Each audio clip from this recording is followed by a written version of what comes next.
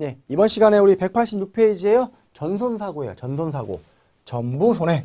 전손은 줄인 거죠? 전부 손해의 약자가 전손입니다.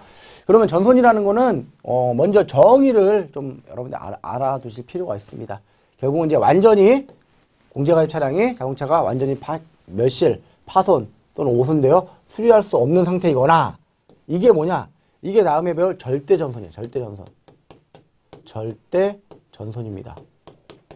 네, 요 윗부분이 절대선이고 그다음에 공제계약 자동차에 생긴 손해액과 우리 공제조합에서 약관에서 부담하기로 한 비용의 합산 금액이 공, 공제 가액 이상인 경우 이게 뭐다? 네, 이게 우리가 알고 있는 추정 전손입니다. 추정 전손. 네. 그러니까 경제적 전손이라고도 하죠.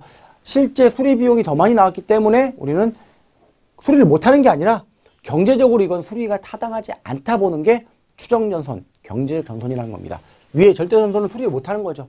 주로 이제 화재 사고 같은 경우는 요 절대전선일 가능성이 높죠. 기술적으로도 힘들어요. 화재가 나버리면요. 그렇게 돼 있고 그다음에 한 번 사고로 생긴 손해가 전부 손해일 경우에 전손일 경우에 어때요? 공제조합이 보상하여 금액이 공제 가입 금액 전액인 경우를 포함해서 이때는 공제계약 청약서에 기재된 자기부담금을 공제한다 안 한다? 예, 공제하지 않는답니다. 기본적으로. 아까 침수에 좀 달랐죠? 침수에는 이제 자기부담금을 공제합니다. 하지만 이제 보통 약관 같은 경우에는 어때요? 전손사고 시에 또는 여기 나와 있는 대로 보상할 금액이 공제 가입 금액 전액인 상경. 그러니까 가입 금액 전액을 주죠. 그럴 때는 자기부담금을 공제하지 않습니다. 그래서 전손 플러스 가입 금액 모두 지급. 그럴 때는 어떻다? 자기부담금을 공제하지 않는다. 요거 좀 기억을 해주시기 바래요. 나와 있죠. 절대 전손과 추정 전손에 대해서 나와 있습니다. 주로 이제 뭐 해종 물에 일반 물도 아니고 해종 바닷물 이렇게 되면 어떻게 돼요? 염분이 있기 때문에 거의 복원이 힘들어요. 예. 또 이거 외에도 화재 같은 경우가 대표적인 절대 전손에 해당이 될 것이다. 이렇게 말씀을 드리고요. 또는 이제 뭐 도난 등도 이제 뭐 어, 물리적 전손이라 할 수 있다. 볼 수 있겠죠. 그 다음에 두 번째 추정 전손은 경제적 전손이라고도 하고요. 즉 손해액이 비용 포함한 손해액이 차량가액 이상이니까 이게는 수리했을 때 이득보다 수리하지 않는 게 더 낫다라고 판단되는 경우에 우리가 처리하는 방식이죠. 여러분들 대부분 어, 실무에서 처리하는 경우는 추정전손이 대부분일 겁니다. 추정전손이. 예, 그래서 이렇게 구분이 된다는 것을 먼저 알아두시기 바라고요. 그러면 추정전손 시에 처리 기준 한번 같이 한번 보도록 할게요.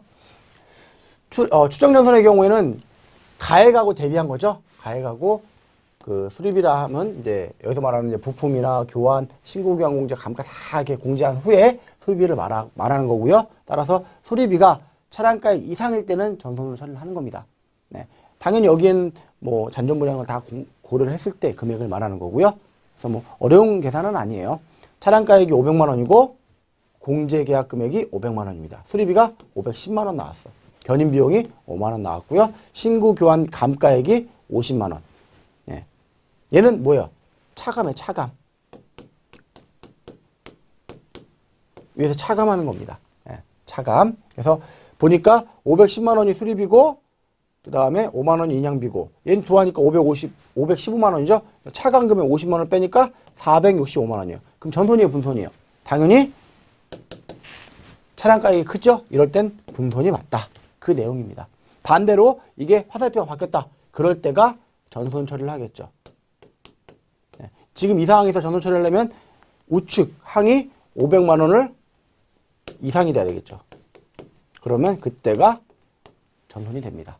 지금은 이제 우측 항이 500만 원 미, 이하기 때문에 미만이기 때문에 분손인 거고 465만 원으로 만약에 500만 원이 넘으면 그때는 전손 처리를 해야 되겠죠. 이렇게 했을 때 피해물에 대한 조합의 권리 그러니까 한마디로 여기서 말하는 조합의 권리라는 거는 조합이 잔존물 대위를 어떻게 할 것이냐. 네, 요거에 대한 문제입니다. 잔존물 대위에 대한 문제. 그래서 전손사고로 공제금을 지급했을 때는 피해 자, 동차 전부를 조합에서 인수한다. 기본적으로 조합에서 인수하는 게 원칙입니다. 네. 그러나 공제계약 금액이 차량가액보다 적을 때, 그러니까 일부 보험일 때 이걸 일부 공제일 때. 저도 이제 거의 수업이 막바지로 가니까 이제 입에 이제 붙었네요. 일부 공제. 보통 일부 보험이라 쓰는데 여러분들 공제니까 일부 공제일 때 이때 공제계약 금액의 차량가액에 대한 비율에 따라 PMU를 인수합니다. 중요한 건 이거 얘가 먼저입니다. 전손 여부. 예. 분손이면은요 고려할 필요가 없어요. 더 이상 나갈 필요가 없어. 전손이 아니면 더 이상 고려할 필요가 없습니다. 권리를 취득하지 못해요. 전손인 경우에만 그 다음 단계로 나가는 겁니다. 아셨죠? 그 다음에 이제 PM물의 인수 여부는